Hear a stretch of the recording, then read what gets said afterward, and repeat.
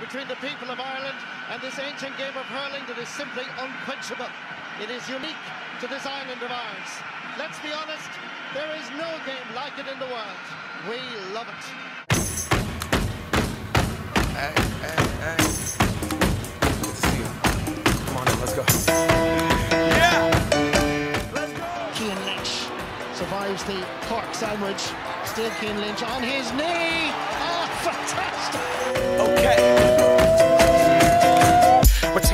To earn them a draw. And who else but Lee Chin is standing over in his playground, in his backyard from the 65.